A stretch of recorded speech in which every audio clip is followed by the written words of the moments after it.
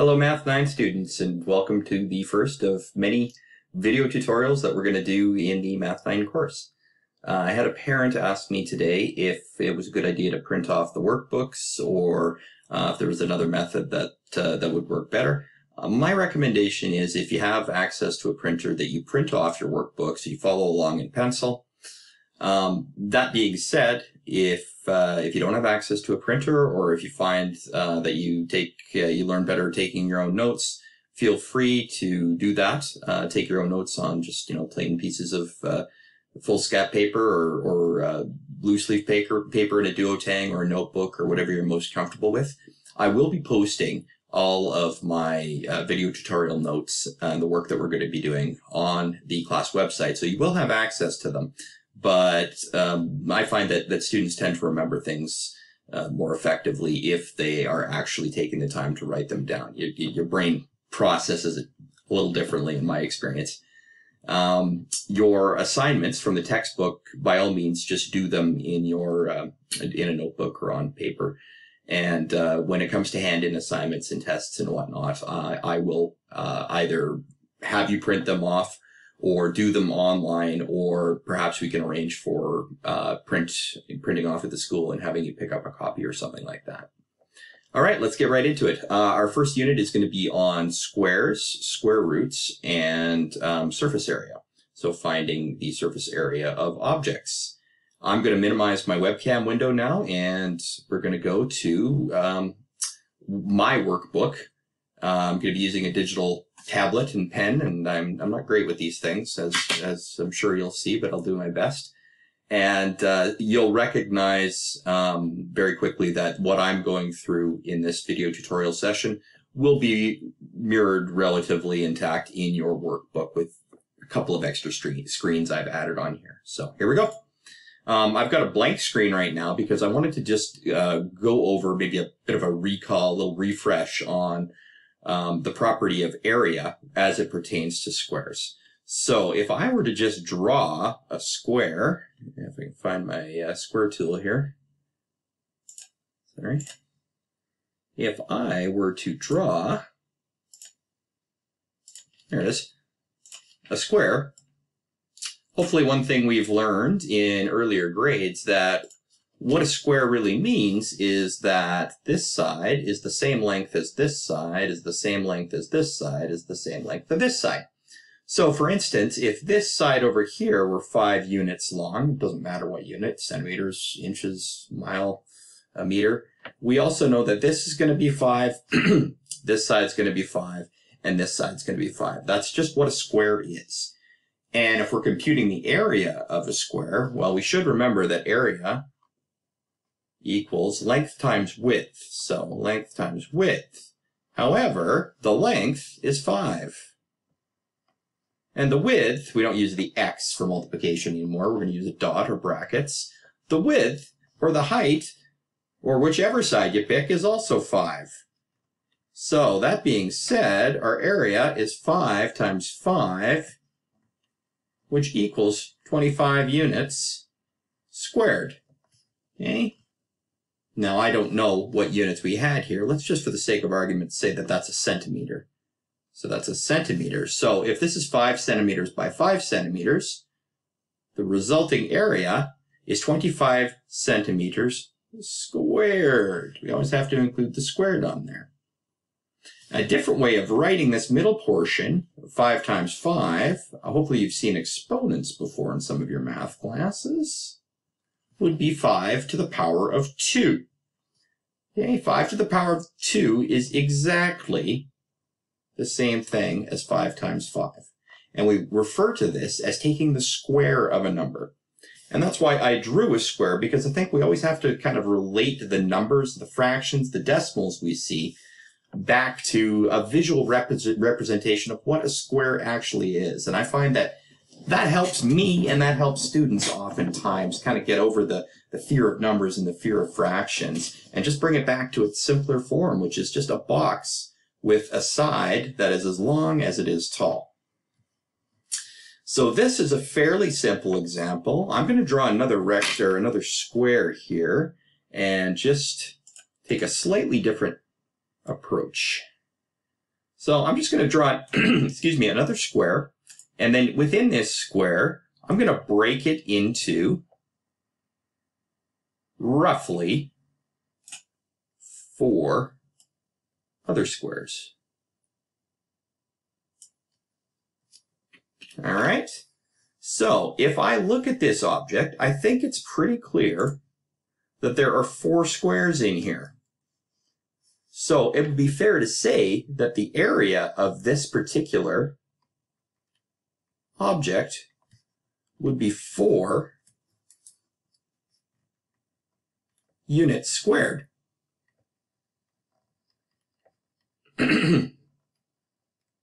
unit just being one of these little boxes. 1, 2 unit, 2 unit, 3 unit, 4 unit squared. So I think that's pretty obvious. These are squares and the big one is a square. So if I looked at the length of the side, it's pretty easy to see that I've got one, two, or so I guess that'd be the, the width. So it'd be pretty easy to see that I've got two there. And then also I've got two here. So we basically did the same thing we did up here. We just represented it in a slightly different way. And I started with the answer and went backwards to find out that it was two times two. So four units could also be represented as two units times two units, which as I told you in the above example, is just two to the power of two. And whenever anything is to the power of two, we always say it's squared. Okay? So we kind of went forwards this way and we went backwards this way, but the idea remains the same. The sides have to be the same length. And if you ever have an object where the sides are the same length, okay, it has to be a square. How do we go from a 4 to a 2? And how do we go from a 25 to a 5, right? So that would be sort of working backwards. If we could go forward, we're going 5 times 5, or 5 squared. The way we go backwards is by using something called a square root. And a square root is represented by this sign. You may have seen it before in your readings at school somewhere on your calculator. In fact, you should find it on your calculator because it'll be very handy in this unit.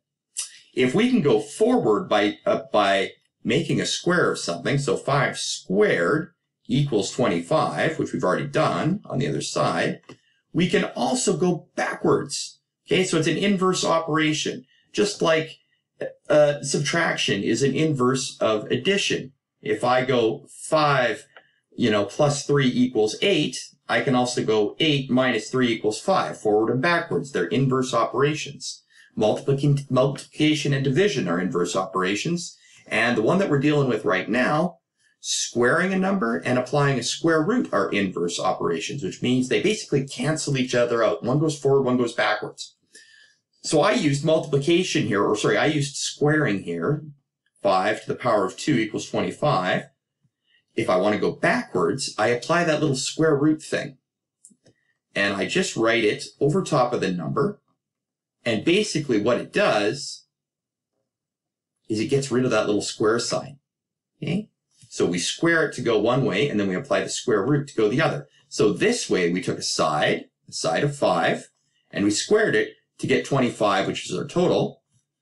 And then over here, we started with our total, which is 25, and we applied the square root to get back to the original 5. And it's going to work on the bottom part here too.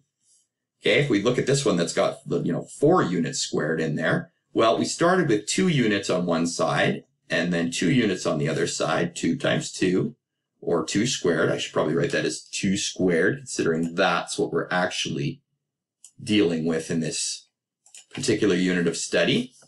So 2 squared equals 4. And if I want to go backwards, with the inverse operation, I'll write the square root of 4 equals 2. So we go forward to make the square number, and we can take the square root to get back to the side. So that's just an example of how we go from side to area and from area back to side. And it'll work with whatever uh, uh, numbers you use as long as as long as they're perfect squares, which we're going to talk a little bit more in depth about in a second. All right, now to the part that may be a little bit more frightening, but it doesn't need to be. The reason I drew this as four square units is I can use uh, one of these boxes to demonstrate it using a fraction. So I think we can agree that there are four boxes in here, just like we did with this equation or with this example here. But what if I just kind of shaded in one of these boxes? Well, in that case, if I look at just what's shaded in this whole box, hmm, how many boxes are shaded on the length? Well, one out of two is shaded on the length. That's a fraction. And how many of these boxes are shaded when we go up and down for the width? Well, same thing, one out of two. And we know that area is just length times width for a square or side squared. So 1 over 2 times 1 over 2. Hopefully you remember some mathematics with regard to multiplying fractions. And what you're going to find when you multiply fractions is you have to go tops by tops, bottoms by bottoms. So that's the numerator on this side times the numerator. 1 times 1, well, that's pretty simple. That's just 1. And then on the bottom, or the denominator, 2 times 2 is 4. Now let's look back at the original. How many of those boxes are shaded and how many are total? Well, we've got one box shaded out of four total. So we've used fractions to represent a perfect square the one box that's shaded out of four. And we can write this a different way. You may see it written like this. It may be written as, and usually you see it with a bracket, 1 over 2 squared. Like that, it means the exact same thing. Anytime you've got something in brackets to the power of 2, it just means this times itself. So 1 over 2 times itself. So it's the exact same thing. Now, I told you that you could use the square root sign to go backwards, okay, and find the side length. So if we start with the total, which in this case we said there was one box colored out of four, right? One box colored out of the four total. We can use the square root of this fraction to get back to the side. Whenever you see a fraction under a square root sign, what you have to do is you have to take the square root of the top and of the bottom. So this is really written, and I always write it this way, just so I never forget that I have to do the square root of both the top and the bottom. So if I see the square root of 1 over 4, I write it as the square root of 1 over the square root of 4. Now, what two numbers, okay, we've always got to have, if we're going to figure out what a square root is, we have to find out two numbers that multiply to give us this. There's only two numbers that we can multiply to give us one. One times itself, right? So the square root of one is just one. That one was pretty easy. Let's look at four. I'm just going to draw a little arrow here for the four. There's only two ways. Remember, we have to use multiplication. There's only two ways that we can make the number four using multiplication. We could do one times four. And remember, the order of, of, of multiplication doesn't matter. It could be four times one as well. We could do 1 times 4 to get 4 using multiplication, or we could do 2 times 2. And we're only dealing with integers here. We're not dealing with, you know, uh, I'm not going to multiply 8 times 1 over 2. We're just dealing with integers. Well, clearly, as with every other example here, if we're dealing with squares and square roots, it has to be the same number. Here it was 2 times 2, and in this example it was 5 times 5. So 1 times 4, those aren't the same numbers, so those ones aren't going to work, so it has to be 2 times 2. So what's the square root of 4? It's 2. Okay? Because 2 multiplied by itself will give us 4. So the final answer here is going to be 2. So the square root of 1 is 1, and the square root of 4 is 2. Which means if we've gone backwards properly, we started with 1 out of 4, which was how many were shaded. Now let's see if what we got as an answer is indeed the length and the width. One we can see it is. So This is 1 out of 2. Okay, so 1 out of 2 or 1 over 2 as a fraction means the same thing. And if we look at the width, it's also 1 out of 2. So we found that even if we have a fraction, if we apply the square root principle, we get the side. So it doesn't matter if it's a fraction or if it's an integer. And even if it's a decimal, we'll do a decimal later, a square is a square. Okay? The sides have to be the same length. You can go forward by squaring the number or taking it to the power of 2, and you can get back to the side by square rooting it or square rooting it. So that's just sort of a quick intro to squares and area, and hopefully most of that's review for you. If I go to my next slide, this uh, you should recognize from the textbook. It's not in your workbook, but I've posted the entire uh, uh, first chapter of the textbook online. So this is 1.1 to your textbook, just to kind of get us oriented on where we are in the book. Okay. This is not in your workbook as well. It's just another example of what I was talking about earlier. If indeed um, there are 10 blocks here and 10 blocks here, you can count them, trust me, they're there.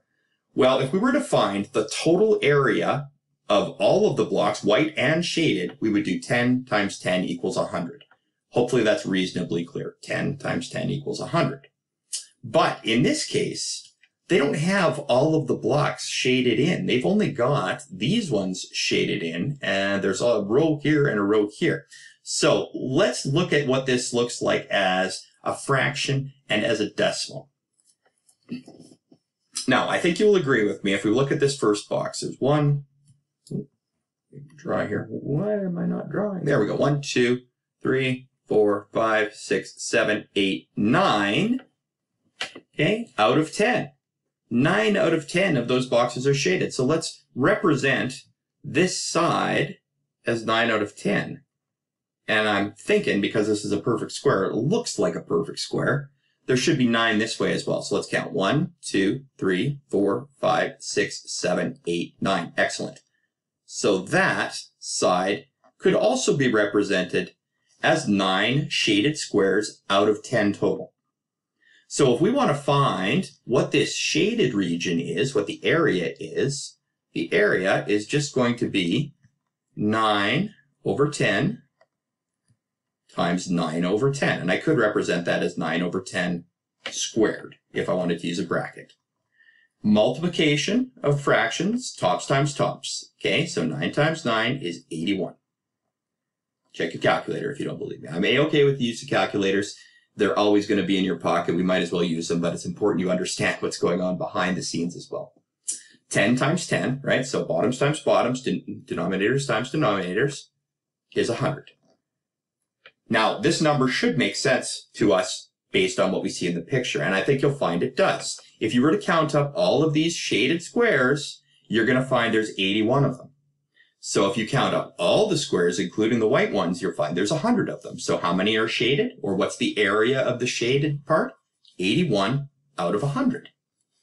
81 out of 100 can also be represented as a decimal. If you go to your calculator and you type in 81 divide by 100, what you're going to get is 0 decimal 81.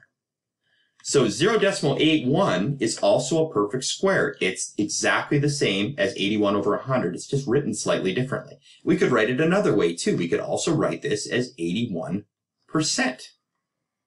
Okay? And I think you could probably, most of us could probably look at this and say, well, how much of that what percentage of that do you think is shaded? And most of us would say, yeah, it's probably about 80% shaded. Well, in fact, it's exactly 81% shaded. So we can represent as a fraction, as a decimal, or as a percentage. In this particular unit, we're going to focus mostly on uh, the decimals, the fractions, and integers or whole numbers.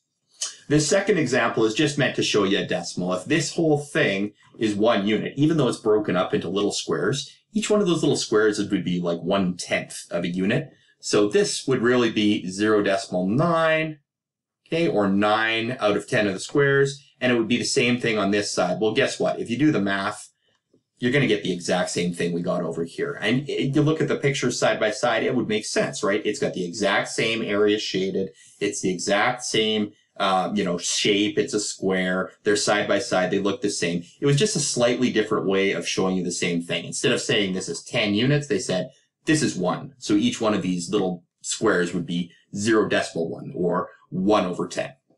So the same principle, just kind of shown two different ways. This is the first thing you're going to see in your workbook. So um, we're going right to fractions because uh, grade 9 math, grade 10 math, you need to know your fractions. So we're going to work with them. Um, this square. I mean, it looks like a square. Eh? It- you know, most of the time you can just look at something and say, yeah, that's, that's a square. Well, indeed it is a square, but it's 15 over 10 units and that looks a little crazy. But I'm just gonna, I'm gonna show it just a little bit differently. It's all shaded in, but let's just say that before this object was what it was, let's just say the original looked something like this. I gotta get this right here. Uh, there we go. Let's just say that the original is this square. If the original was that square, we should be able to count, and hopefully there's 10, 10 units in there. So let's just have a look and see. All right. One, two, three, four, five, six, seven, eight, nine, ten. Okay, thank goodness, ten. And then if I go down, one, two, three, four, five, six, seven, eight, nine, ten. Okay, so I've convinced myself if this was the original section, there are 10 across the top, there are 10 going down, so there should be 100 units in this. However, they gave us extra. They gave us five extra on the outside here, and they gave us five extra down here. So instead of 10, okay, they gave us 15. So we're going to represent this whole side from the top to the bottom. We'll call that, you know, whatever that's the width. Instead of being 10, there was 15 over 10. So 15 out of 10. They gave us too many. And then on this side, it's the exact same thing. It's a square, right? So here, we've also got, just draw a little arrow to that. We've also got 15 over 10. Okay? So we're using fractions, but it's still a square and it still has sides. So we've got these 15 units out of the original 10. We've got these 15. How many are shaded? We have to find the square. So if we look over here, we've got 15 over 10 in brackets squared. Remember that anything inside, anything inside the brackets, the square applies to. And for fractions, okay, you'll usually see them inside brackets because you have to remember, you have to square the top and the bottom. Taking the square of something means just multiplying it by itself. It doesn't matter if it's a 2, if it's a 4, if it's a decimal, if it's a fraction. If you see something squared, you gotta multiply it by itself. So we're taking 15 over 10 times itself. We're gonna try and get away from using the x for multiplication. We're gonna use a dot. Okay? And uh, reason for that is because you're going to see x as a variable very soon, and you've probably seen it already in elementary, so we don't like to get that confused. We're going to use the dot. So 15 over 10 squared is 15 over 10 times 15 over 10. Bring out your calculator. Hopefully we're going to memorize these soon enough. 15 times 15 is 225. 10 times 10 is 100. So the area is 225 over 100 square units. If you were to take the time, I don't recommend you do it because it does work out. You counted every single one of these little squares in this whole drawing. You'll find that there's 225 of them. So there's 225 shaded little squares. But if this original square that I drew here represented the original 100, okay, we actually ended up with 225 out of the original 100, more than we started with, which is why you have the 100 on the bottom. You can also, as we know, take this number backwards. Let's say they gave us an answer of the area is 225 over 100 square units, and it asks us, how long is this side? We could go opposites. We could say the side equals the square root, remember that sign, of 225 over 100. I didn't draw my square root sign quite big enough. It needs to go down a little bit further. Okay, and remember, I always recommended that you break this up into the square root of the top over the square root of the bottom. So you never forget that you have to do the square root of the denominator as well. Okay, the square root of 225, go ahead, do it on your calculator. I dare you. It's going to be 15, and the square root of 100 is going to be 10. Okay, so it did indeed give us the side. We went forward to get the area, and then we used the square root to go backwards to get the side. So you can go one way or the other depending on how much information you have and what type of information you have.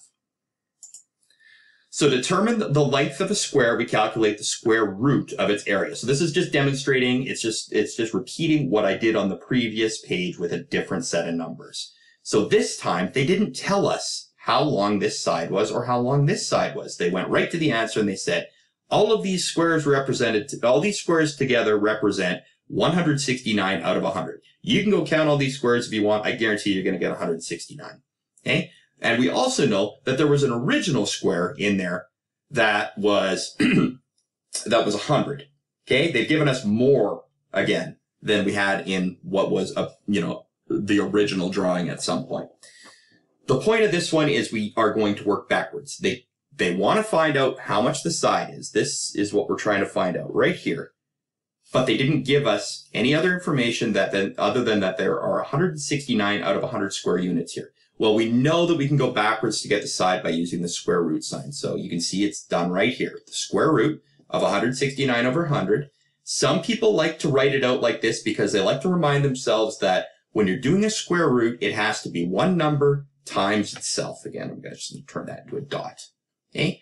I usually skip this step. If you want to do it, that's fine. I usually just skip the step. I just make sure that I write this as root 169. By the way, root is just a different way of saying square root over root 100.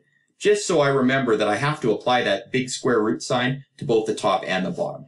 Okay, if you plug it in on your calculator, or maybe you've got it memorized already, the square root of 169 is 13. That's just like saying, I know that 13 squared is 169. You can go forward, you can go backwards. I know that 2 squared is 4.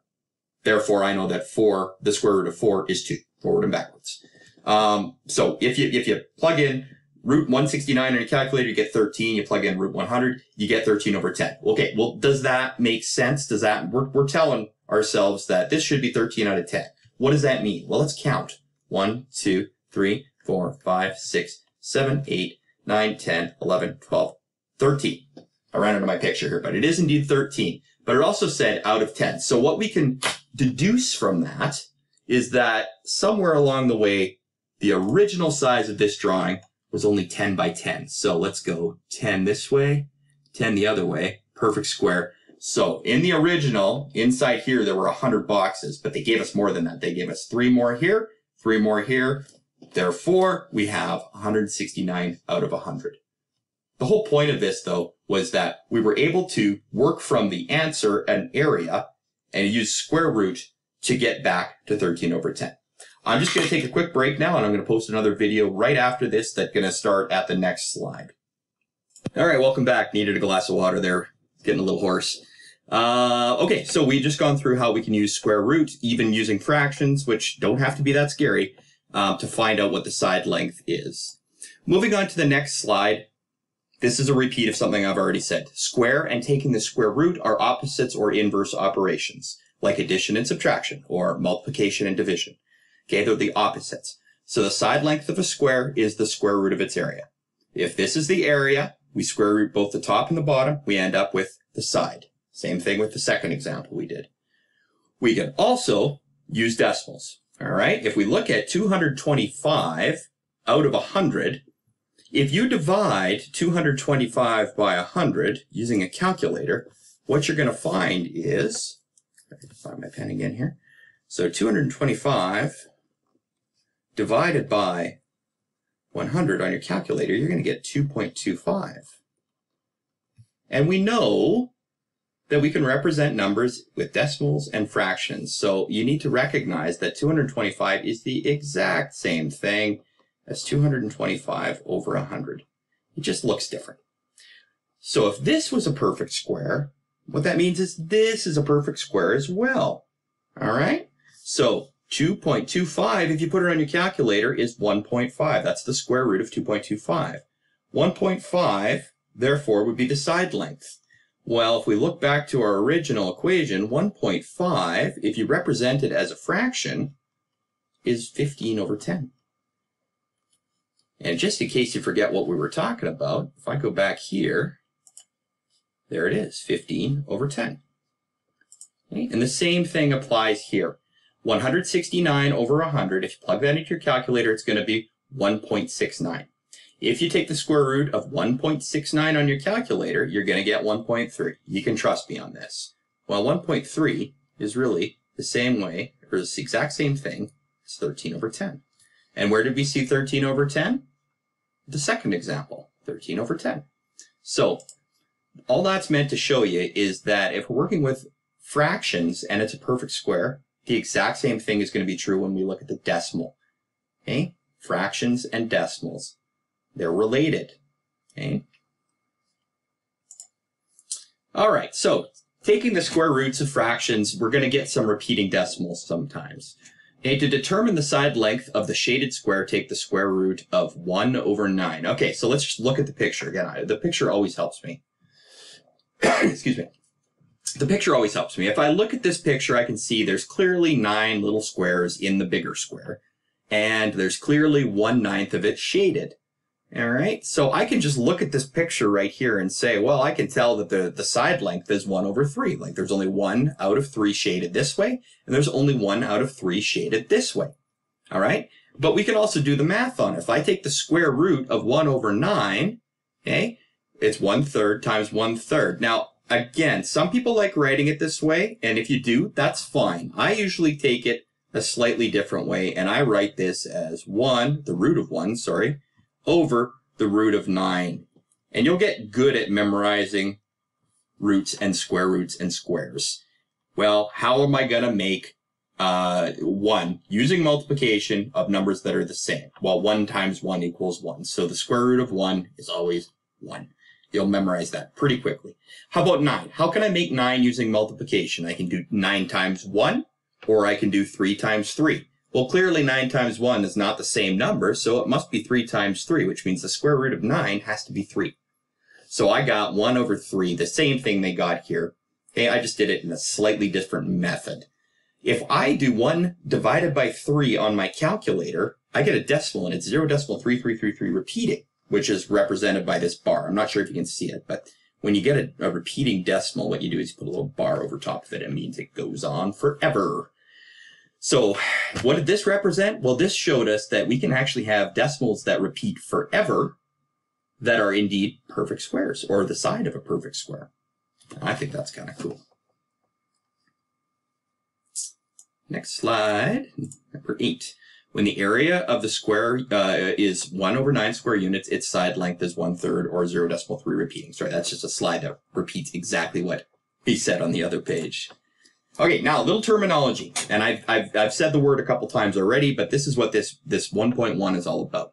A fraction in its simplest form, okay, a fraction in its simplest form is a perfect square, that's the term, if it can be written as the product of two equal fractions, all right? The only thing I'm going to add to this is we got to remember that product is multiplication. Should have typed that out instead of trying to write it. Okay. Remember that product is multiplication okay, of two equal fractions. And I guess the only other thing I might highlight there is they've got to be equal. Equal numbers, equal fractions, equal decimals, whatever it is we're dealing with. Okay, you can probably guess what's underneath this green square. When a decimal can be written as a fraction that is a perfect square, then the decimal is also, the key word there is also, a, ta-da, perfect square. The square root is a terminating or repeating decimal. Okay, terminating means it stops. Repeating means it goes on forever, like that zero decimal three three three three three three three we saw before. So we're dealing with perfect squares here. Next example, calculate the number whose square root is 3 over 8. Now this, this isn't testing your math ability as much as it's testing your reading and comprehension ability. Okay? It's not saying it's not saying what's the square of this, or, or it's not saying what's the square root of this. It's saying the square root is this. So calculate the number whose square root is that. We actually have to square this number. So, you know what? I probably didn't do a great job of explaining what that is, but if this is the side, what is the area is basically what we're asking. So if this is the side, I'm not going to actually draw it as the fraction, but here's what they're telling us. They're not telling us how much is on the inside. They're telling us that this side is 3 over 8, and they're telling us that this is indeed a square. Well, if it is indeed a square, this is also 3 over 8.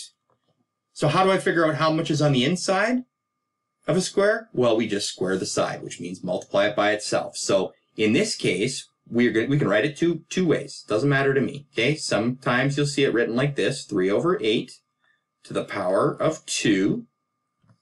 And sometimes you'll just see it written as 3 over 8 times itself.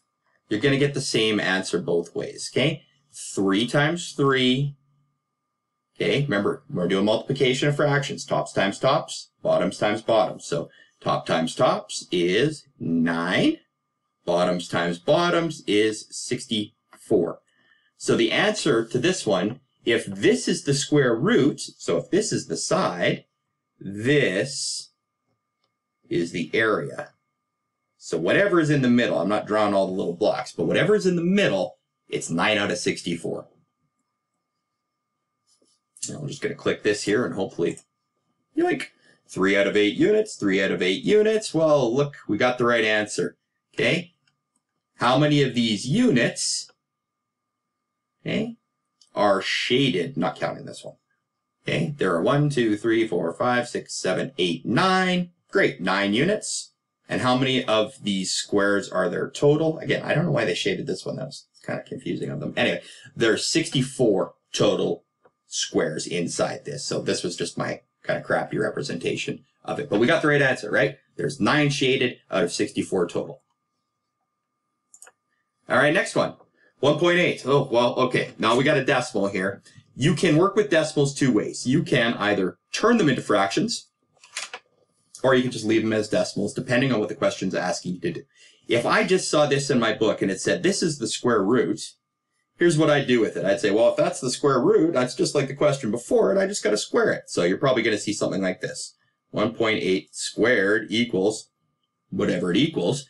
Um, but you might also see it, see it written as 1.8. That's a decimal. Do a very good job. Times 1.8. Remember, we use brackets for multiplication, or, you know, you might just see it as 1.8 times 1.8. Oh, those all mean the same thing. Well, I really write crookedly, don't I?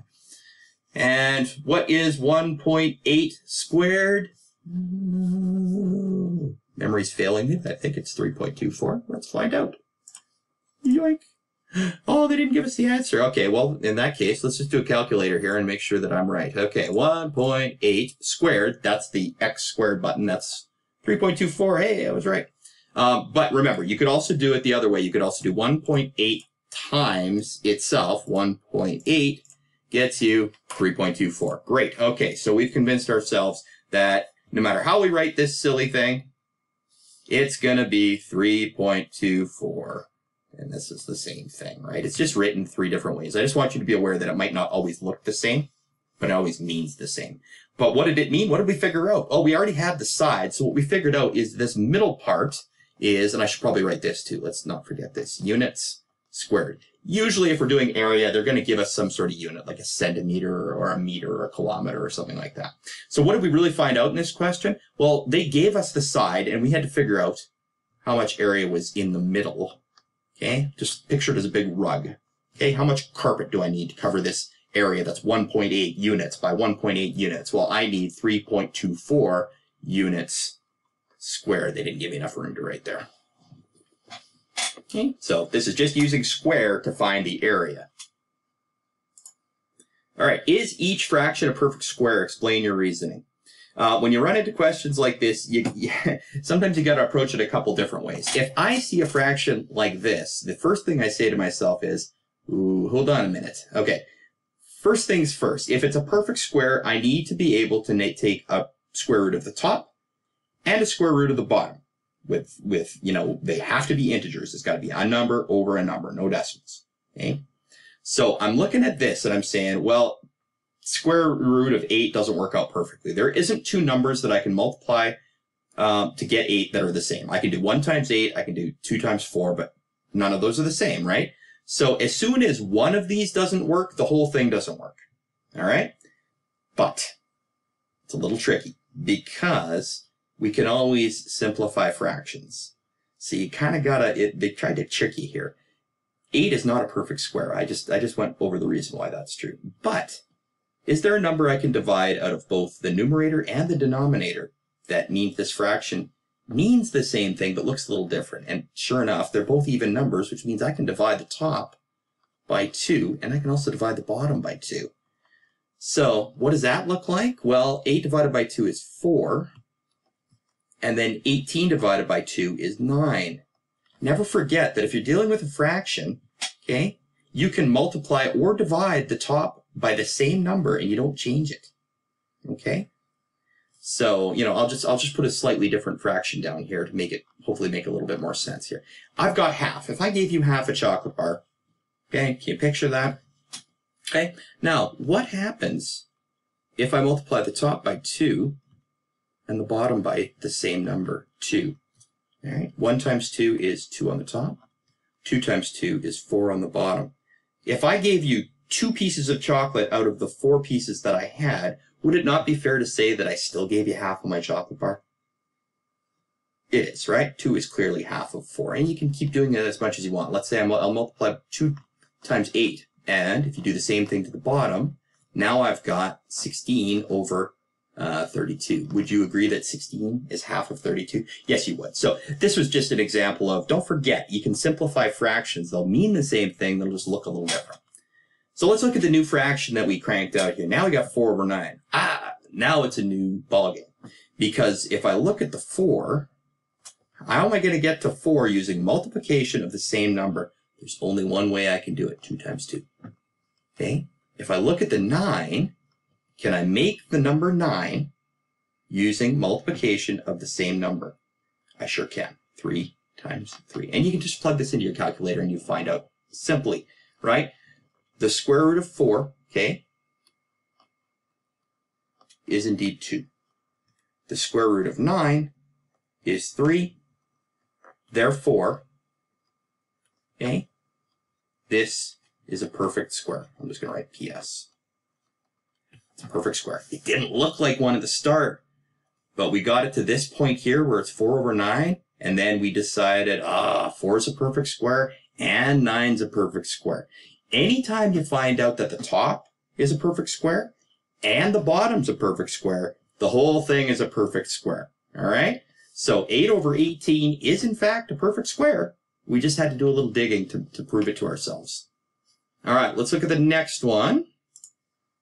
Okay, 16 over 5. Let's do the same thing. If this is a perfect square, then we need to be able to take the square root of both the top and the bottom and not get decimals. Okay?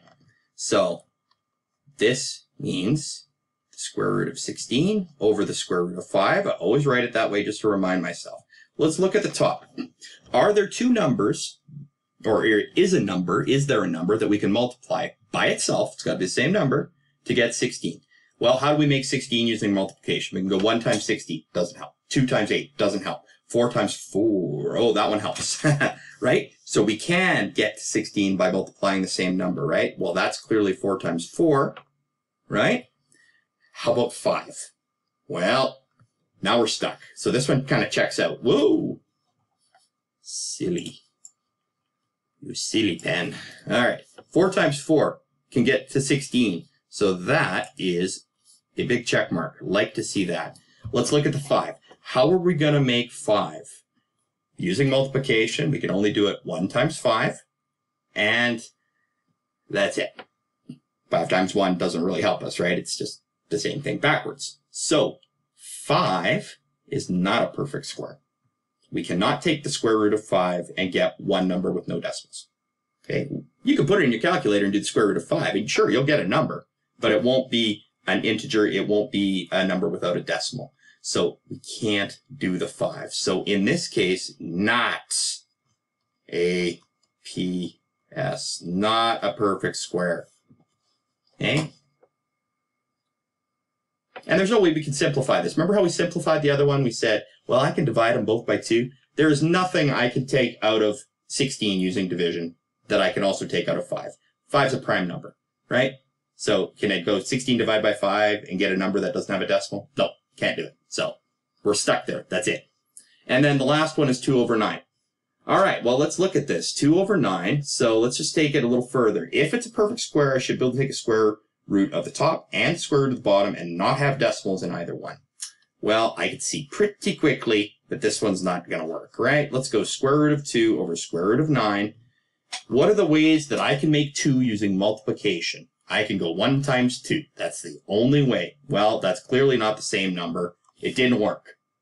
So I know right now that this is not a perfect square, but we can look at the 9 anyway. And we could see, well, how can I make 9 using multiplication of the same number? 1 times 9 doesn't work. 3 times, oh, 3 times 3 works. Okay.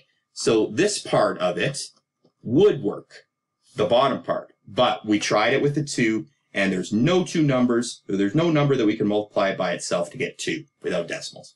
So, because one part of it is not a perfect square, then that means the entire thing is not a perfect square. All right. Now I think that's the end of my examples here. Oh no, I got a couple more. Hey, yay. Decimals. How can we forget about decimals? All right, we did fractions. Let's do decimals. Is each decimal a perfect square? Explain your reasoning. Okay, now use the fraction method and your calculator. This is important. You need to know how to turn a decimal into a fraction. And the way you do that is it's very, very easy. What you do is you write this entire number, okay, you write this entire number, 625, ignore the decimal for now. And you put it over, and all you got to do is you go write a 1, and then count how many numbers are behind the decimal, and you put that many zeros. That's it. That's easy. Works for every decimal. Okay? You just write all the numbers on top, ignore the decimal for a second, then you put it over 1, count the numbers behind the decimal, and put that many zeros. So there's two numbers here, you need to put two zeros there. Okay? So now let's look at the fraction. Okay? So if we look at the fraction, we see 625 over 100. Now, you can use your calculator for this part, so I don't expect you to know if 625 is a perfect, uh, is, excuse me, is a perfect square or not.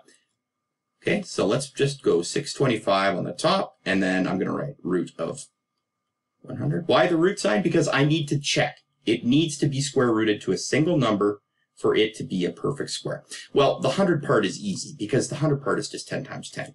So that one checks out. That's awesome. That's easy.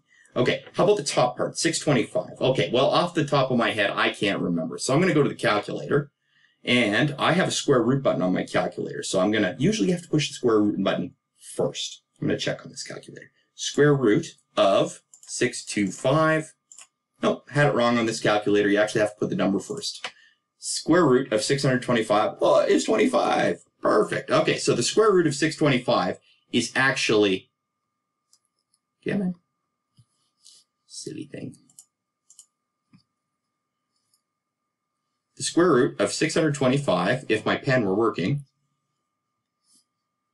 would be 25. Why is my pen not working? You silly pen. I think there's a button on my pen that's failing. Okay, well,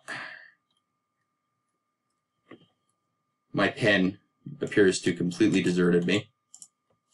So I'm just going to pause the video for a second and try and get it working. Sorry, folks, minor problem there with my uh, tablet software. Hopefully I've got it back here. Where was I? Okay, say the square root of 625 after I typed it into my calculator is, oh, good grief. It's causing me problems again. All right, there we go. 25 times 25. Finally, the technology works for me.